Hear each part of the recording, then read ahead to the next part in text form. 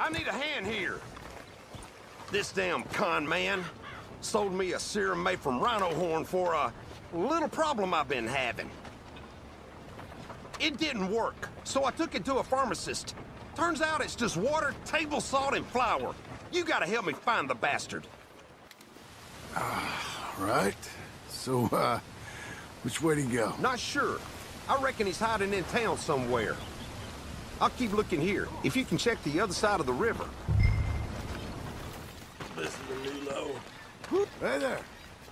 Sell any miracle cures lately? Hear that rhino horn is real hard to come by. Shh. I get it. I get it. Just keep it down, will you? That limp dick sent you here, didn't he? He's a vile man.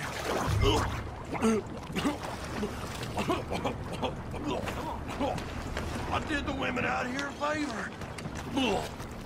Don't tell them I'm here, please. Oh, God. Well, any luck? Swindler's waist deep in shit over behind the woodworks. Okay. I'm gonna make him drown in that shithole. Oh, to chop your pecker off, you goddamn bunko artist! No, no, no, no, no! Uh, uh. Wait, wait, wait! Mm. I work for the other customers, I swear! Did you take it like I said? Shut your bone oh. box! Oh, Rhino oh. horn, my ass! Oh. You sold me hardtack in a bottle! Stay the hell away from me! I don't deserve this! Oh,